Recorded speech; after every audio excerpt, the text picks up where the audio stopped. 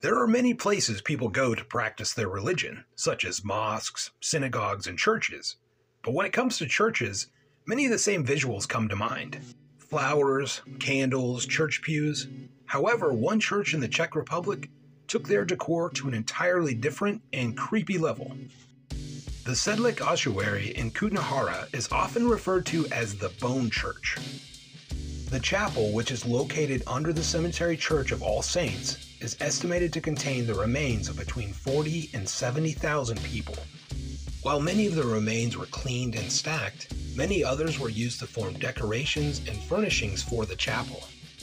Most of the remains used date back to the 12th, 13th, and 14th centuries. The ossuary is among the most visited tourist attractions of the Czech Republic and most certainly worthy of a spot on our weird history list.